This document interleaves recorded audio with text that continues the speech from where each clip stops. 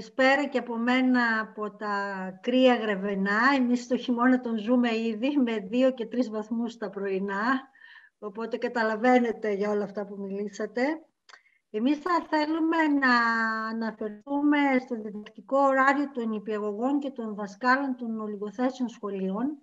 Ε, γιατί σε μια σύσκεψη που πραγματοποίησε ο σύλλογός μας με νηπιαγωγούς την προηγούμενη εβδομάδα, ήρθε η εικόνα της αδικίας που υφίστανται οι συνάδελφοι αυτοί λόγω της μη μείωσης του διδακτικού τους ωραρίου ανάλογα με τα χρόνια υπηρεσίας όπως συμβαίνει με τους ε, ε, υπόλοιπους εκπαιδευτικούς πρωτοβάθμιας εκπαίδευσης ενώ επιτελούν ακατάπαυστα το έργο τους μέσα και έξω από την τάξη με συνεχείς εφημερίες, χωρίς ανάσα, χωρίς κενό, με ό,τι αυτό μπορεί να συνεπάγεται στην ποιότητα της δουλειάς ή τις ψυχικές και σωματικές αντοχές τους.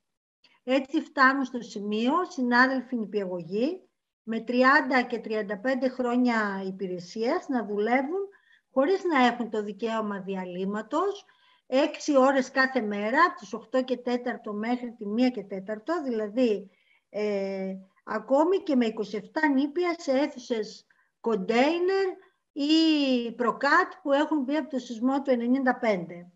Είναι ζήτημα ιδιαίτερα σοβαρό, μια και εγκυμονεί ακόμη και κινδύνους για τη σωματική ακαιρεότητα των νηπίων, αφού δεν υπάρχει βοηθητικό προσωπικό στα νηπιαγωγεία και άρα η νηπιαγωγός αρκετές φορές είναι αναγκασμένη να ασχοληθεί με τις ανάγκες κάποιου παιδιού εκτός τάξης.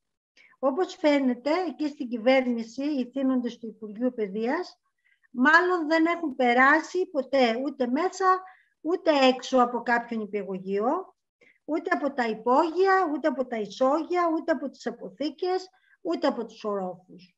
Με την αντιλαϊκή πολιτική τους κλείνουν τα μάτια μπροστά στις πραγματικές ανάγκες των μαθητών της προσχολικής ηλικίας και στα μεγάλα προβλήματα που αντιμετωπίζει το δημόσιο σχολείο.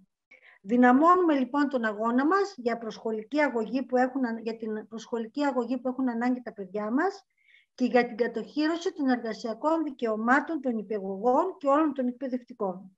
Για αυτό το θέμα και για αυτό το θέμα πρέπει τα σχολεία στις 9 Νοέμβρη να κλείσουν και να μην δουλέψει κανείς.